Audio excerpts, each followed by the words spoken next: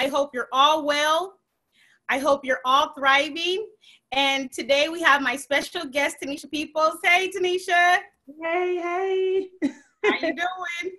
I'm good. I'm good. Um, you know, maintaining during tough times. You know, that's all we can do. And so that's why I say we have to manage moment by moment, day by day. Um, this is a new norm for us. And, you know, we just got to take it one step at a day, uh,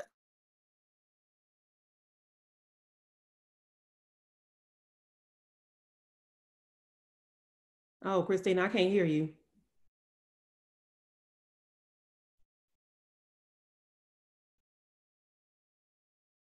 Um, because we can't figure out what's going to happen tomorrow, but we could definitely manage through today, right? Right. It's, it's so tell the people who you are um, and what you do. you know, I, I just ramble, you know, so when it comes to talking about who I am, um, first, you know, obviously I'm a, I'm a black woman. Um, I'm from the south side of Chicago, Englewood, born and raised. Currently live in Chicago. Yep, Chicago, Chi-Town representing.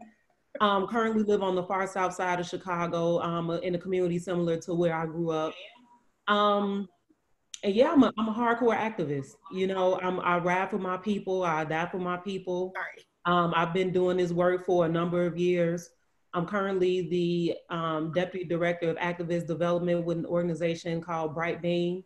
And um, yeah, I'm just all about the, the activist life and the education life, the liberation of our Black and Brown kids. So, you know, um, everything that comes under that umbrella, that's me. Right.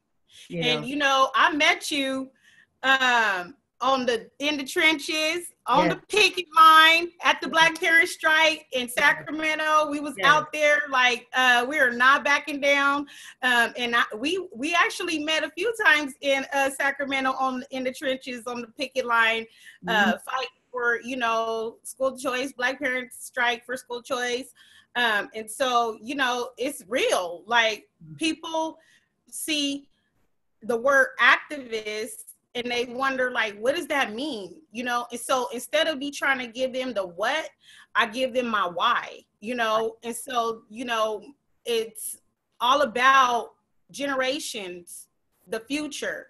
What does that look like? Mm-hmm. challenging the systemic oppression and institutionalized ra- institutionalized racism that they have to um, live under um, yeah. and making sure that we push for systemic change you know because you can see surface level is just talk, right? Yeah, absolutely. You talk around stuff and about stuff, but we talking about real change that's felt. Yeah. The impact of that. And yeah. so talk about your journey and your why. So the interesting thing is, is I never had a, I never had a plan, right? So again, I grew up in Englewood. The majority of my family graduated from high school. Um, if they didn't graduate from high school, they may have gotten a GED, they may have dropped out. You know, but the philosophy was, you know, get whatever education you can get and just get a job and keep that job until you can retire. Um, so I had the the the fortune of being able to go to good schools outside of my community. Again, Englewood is a low income, predominantly black community. So you know what that comes with. That comes right. with trash schools, that comes with trash elected officials, you know, that comes with blight. It comes with it well it's without a lot of stuff. And so i was able to test into um, those magnet schools and you know be exposed to a lot of different things a lot of different cultures a lot of different people um, more experiences that i that i saw um, that i that i saw growing up. And so from there i got the um, the motivation to go to college. And so i went to undergrad i went to grad school and i knew that i had a passion for working with kids and uplifting kids but i didn't really know where I should take that passion. And so naturally, right. I went into um, the nonprofit sector and I started out on the social services side. And I, I enjoyed the work. It was draining, but it wasn't fulfilling. You know, mm-hmm. it wasn't completely fulfilling. And so I think the one thing, the why, and all activists have the why. We're we're we're we're propelled by some kind of self-motivating factor. And right. I was a I was managing an after school program in Evanston, which is a city um, a couple of miles away from Chicago. And uh, while I was at work, someone broke into our building, right? Mm. And so I mm-hmm. drove home. It was about a 45 minute drive home. And um, I just had the thought, like, damn, you know, like, I, you know, first of all, I feel threatened. I don't feel safe. I don't want to live like this, you know, right. Somebody's breaking into our houses while we go to work and stealing our stuff, our, you know, the stuff that we worked hard for. And I'm just like, this ain't, this ain't living, you know? And so I think that's where it clicked, where I got the idea that I have to still work with kids, but I have to empower them to be something greater than what the world has told them they should be or what they can be. Mm-hmm. And I need to work to change the trajectory of our communities because if we keep going like this, it's, it's ultimately going to be self-destruction. And right. it won't be it won't be a great quality of life. It won't be anything that you know we can enjoy and anything that we can work for if we're in such a, a destitute position. You know and so i transitioned from the social work side to the advocacy side. And in transitioning to that side i got into educational advocacy and i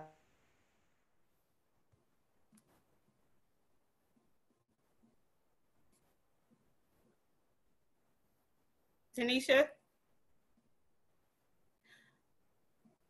Okay, so we're gonna um, wait a little bit. I'm sure that everybody understands that we're having uh, technical difficulties. That's just during the day, um, no matter where you at. I experience them. And so anyway, you know, just talking about managing your day and um, being mindful and thoughtful of not trying to figure out what's going to come of tomorrow um, not even making predictions, you know, just taking it one step at a time. Um, I do want to let you guys know that, you know, when I am watching, sometimes I don't have the ability to um, answer questions and comments. And so what I do is go back into the thread um, to answer those questions and comments. So anytime you leave them, just know that I am going to be going back, or you can always reach out to me on Facebook. Um, you can always, you know, email me at Christina at npunion.org because I'm always willing to answer questions um, and just take those comments to heart. You know, I'm accessible. Um, everybody that I work alongside of with uh, National Parents Union is accessible. And so while we wait and see if um, Tanisha's going to come back up, I want to hear from you guys. Um, I want to know how you're doing, right? When we first um, began this COVID 19 stay at, stay at home um, school closures, you know, people were having high anxiety, um, very frustrated, very overwhelmed, not knowing what that was going to entail, not knowing what that was going to look like. And so now that we are made it this far, you need to be celebrating that, that you have made it this far, right? So don't worry about what's to come or when things are going to take place. Be happy that you made it this far you're doing it, you're managing each day, um, and allow your kids to celebrate those small um, victories, right? What are the small victories in your house um, that have taken place? Okay, so I have a question from Bernita, and it says, Tell us about advocacy and how parents use what they're feeling to advocate. Yes, we're definitely going to address that. I think we got Tanisha back. hey, sister. I am, you know what? That has never happened. I am disappointed in my internet. I got to get Xfinity on the line and just, you know, go in. That has never happened. Let me tell you something. On managing day to day, it happens all the time. I was on the road too, and I'm just like, what happened? You good? Yeah, and so go ahead and um and then we got a, a comment. It says, tell us about Bernita. Uh shout out to Detroit. Um, hey Bernita. tell us about advocacy and how parents use what they are feeling to advocate. So, you know, definitely from my experiences, um, I saw things that were just out of line, right? Um, I had worked in public education for 13 years. Six of that was spent in early childhood education. Seven of that was spent in special education. So I knew intimately, I understood the system. I understood what I was seeing. And, you know, when my kids started going to school in a, in different places, I saw these huge issues. And I saw that there were no, there was no accountability and they were not being addressed appropriately. And even if I spoke up loud for my kids, they would fix it for them. But I noticed that there were other parents and other children that were still struggling through the system, right? Um, and so that became a huge problem to me because I could yell all day. I could write people up, uh, send letters to Office of Civil Rights and all of that stuff. But what about the other children? Um, you know, and then too, I saw the pattern that it would be resolved shortly and then the next year I would have the same issue again. I'll be thinking, why am I still fighting this battle? Right? Like my son, diabetic, I had to fight for his meal accommodations at school and for him to be able to have a snack at 10 o'clock and for him to be able to to self-regulate and say i'm not feeling well or i'm feeling lethargic or i'm feeling tired. And so when i saw the level of of fight that i had to give i was like you know what? The everyday parent is not going to be able to um, understand what this looks like and i am going to put my foot to the pavement and help as many people as I can. So that's my answer to that um, in a very brief statement. We can talk about this all day. so go ahead and take off where you left off, Tanisha. Um, where did I leave off? you were talking about um, how you, you know, working in social services. It oh, wasn't yeah. so. Yeah. Okay, because I don't know where Xfinity started acting a fool, but yeah, so I oh, okay. long story short, because I know we on a, a, limited amount of time, I was I wasn't fulfilled on the social services side. I felt like social services were enabling our people to stay complacent, you know, right. and limiting their ability to to advocate for themselves. Because it's like if we put a band-aid on these issues and make it seem like we're giving the resources and you know the supports that these communities need then we keep them blinded to the fact that they deserve so much more. And so right. that was that was part of the motivation for me switching over to the advocacy side because it's like, no, we go we go release these crutches, we go snatch these band-aids off and we go expose the truth, you know, through empowerment. And so having real conversations, really um, equipping parents with the skills to do the research and the facts about what's really going on so that ultimately they will be pissed off enough. And that's what it takes to be an activist, like you are pissed off. So that mm-hmm. they will be mm-hmm. pissed off enough to say enough is enough. Like we about to get, we about to advocate for ourselves and get what we need. And so that's what it's. It's. I wouldn't. I don't know if it's negative to say it's an adrenaline rush, but it's something that I thoroughly enjoy because it's moving us one step closer to that freedom that everybody else is guaranteed exactly. and we deserve that we haven't we haven't gotten. So um and it's been difficult because I don't have kids, you know, and so people, some people, I've gotten questions like, well, well, not necessarily questions, but there have been undertones and conversations in which I felt that people questioned my commitment because I didn't have kids. And it's like, don't I, I, hate when people question my my commitment and my experience because you don't know me. You don't know where right. I grew up. Some people may know where I grew up, but you don't know what I've gone through, what I've seen, how I see my people struggle. And I don't need to have kids for all the kids in my community to belong to me, which they do. And if we all adopt that mentality, whether the child is biologically ours or, you know, whatever, if we all adopt the mentality that all of these kids belong to us, then we will be motivated to advocate for them. So all these kids are mine, all of them. You know, that's what I, I can't pay for all of them, but I they belong to me. I can't pay for all. Of, them. I can't pay for them it's okay though because you you there's different types of wealth right? And so we're not talking about financial wealth. We're talking about the wealth that you bring it back to the children that are in the community. And i will have to say that uh, when we say all we mean it right? Right. Other people right. say all they don't mean it. That's just a term that's loosely thrown around. Like oh we talking about all kids. Really? Are you? Because i know a no. whole bunch of them that you're not talking about That's that. Um, that's that all lives matter mentality that people want to take on when they need allies. But when it's about their kids, it's like, no, our kids matter. Yours don't really matter. So that's you know, and we we've had those conversations too, Christina, where we've yeah. been confronted by you know those all lives matter activists. But when it's time to stand up for black and brown kids, you know it's crickets.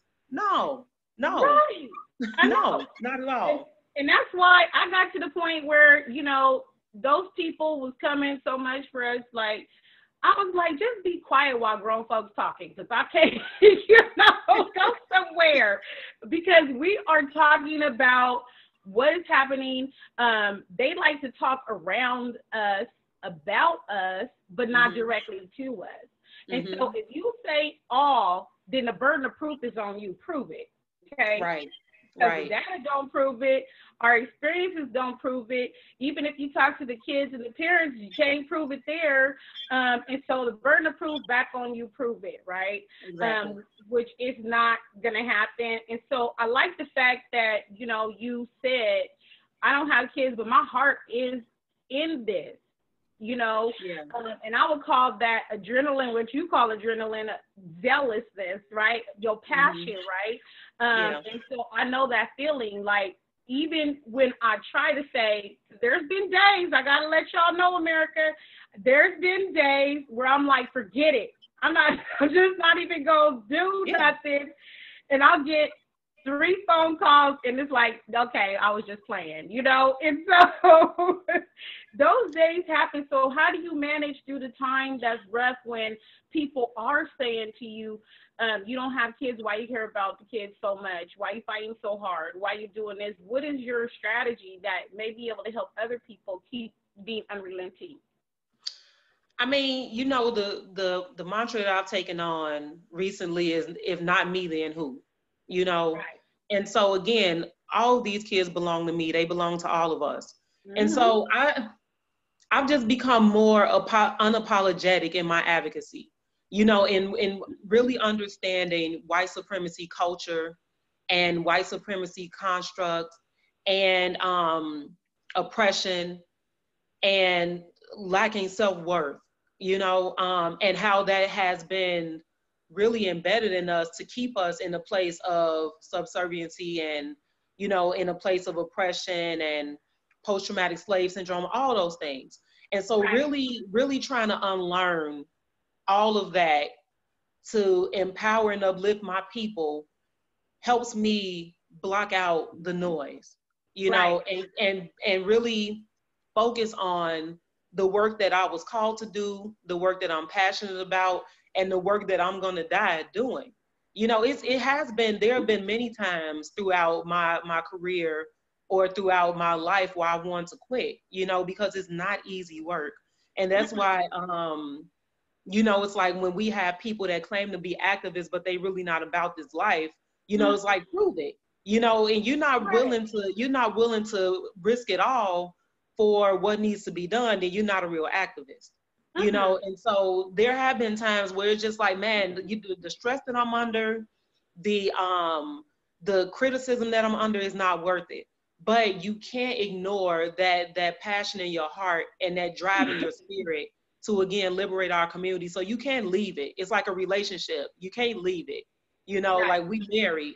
And so you keep going in it because it's what we have to do if we want to see our communities better. Because again we deserve better.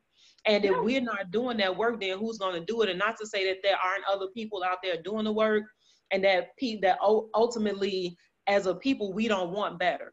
But there has to be somebody driving that work and mm-hmm. leading that charge because again, we've been told since we landed on these shores that we can't, and right. that we we're not deserving. So right. we have to be the chain breakers. You know, we have to be the chain breakers.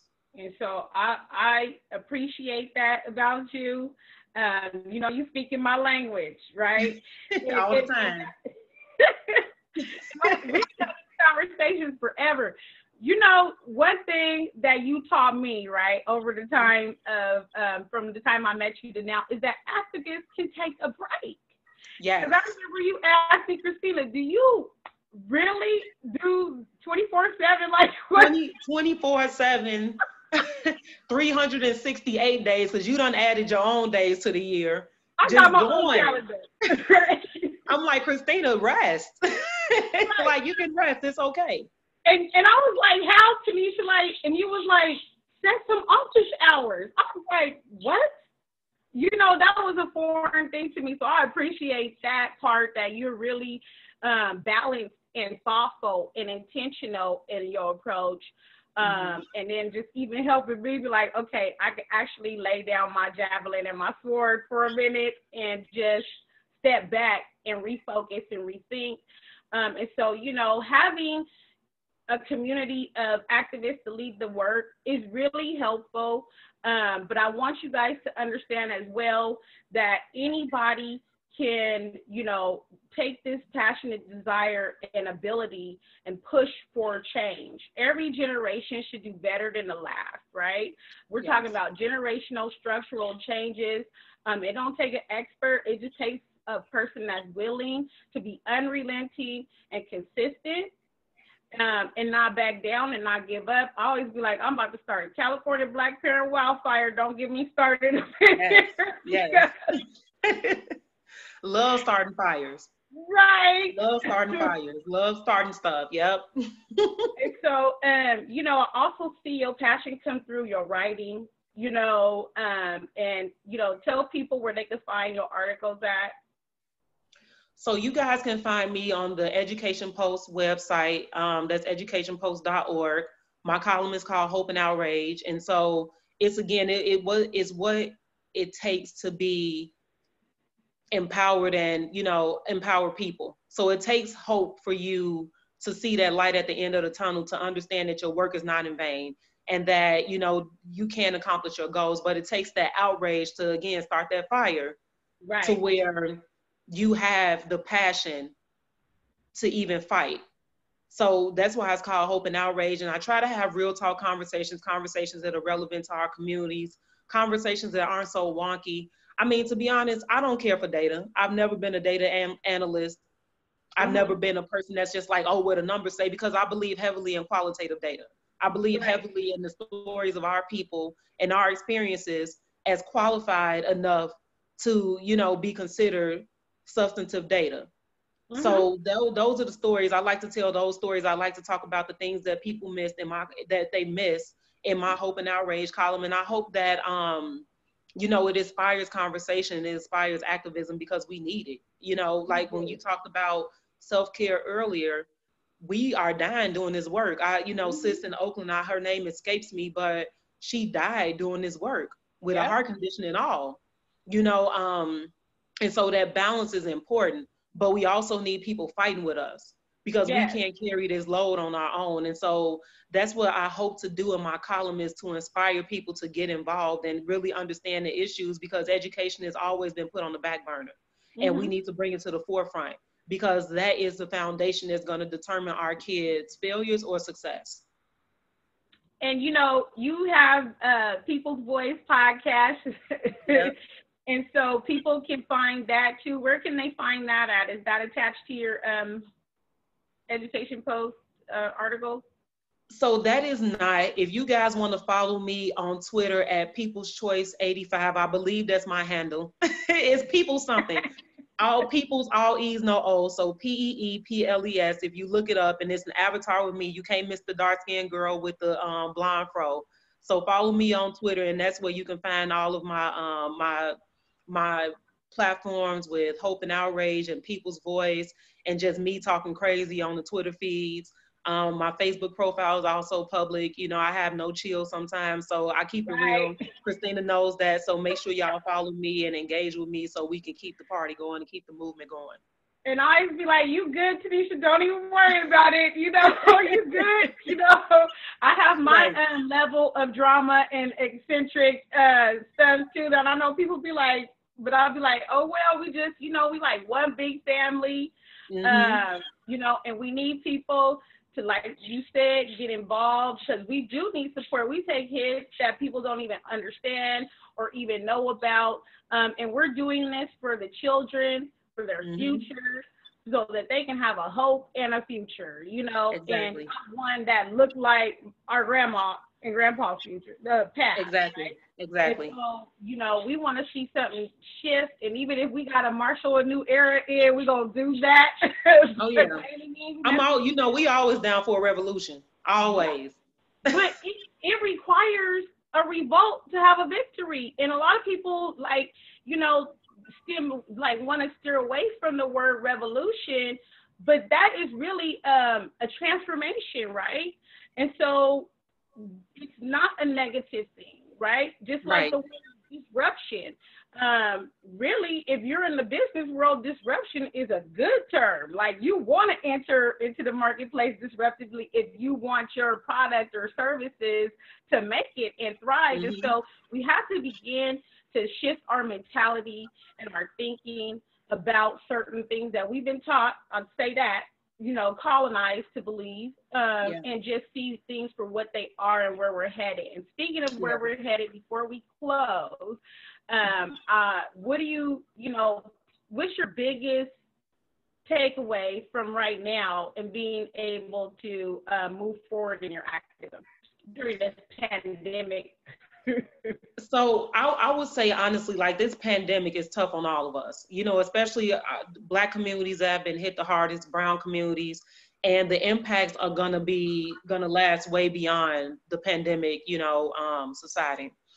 But what I've seen as a as a silver, well, not necessarily a silver lining, but let's just say an opportunity is this is really a time if people weren't aware of the disparities before, we're seeing them now. And so for me, this isn't time to activate our communities around what we need. And so while people are thinking about um, tomorrow, I am actually thinking about months from now, years from now, where we have the opportunity to turn things around for our communities. And it's gonna take conversations, it's gonna take education, it's gonna take activism. And so I have been, I've had my hands in many pots and I'm having so many conversations around now is the time to reshape mm-hmm. our future and to reclaim our lives and to rebuild our community. And so that's why I am doing this pandemic. It hasn't been easy because again, I'm over here trying to survive myself. But um, you know, as activists, we we we're in gear 24/7, you know? So even when we're trying to sleep, we thinking of ways to promote our communities and promote voices and you know uplift. So this is the time. This is the time while people are kind of being still and have the opportunity to listen. This is the time to really put the word on the streets. And you know, since we want you to survive too. So, you know, uh, I God willing. you know, and we don't we don't want to die from this work, but we probably gonna die doing it, right? Oh, yeah. You know, yeah. and so I totally agree. I totally agree. You know, just having that um, understanding and that support system. I always got your back. I know you got mine, so I appreciate you coming uh, and sharing. You know about your why. And if you have a final word for the people watching, uh, can you please go ahead and get that? Hey, that's what I got for the people watching. That's right. All right. And you got that's my favorite dare shirt on. So y'all, yes. you know, look, we daring you to be bold and, yes. and be an activist, right?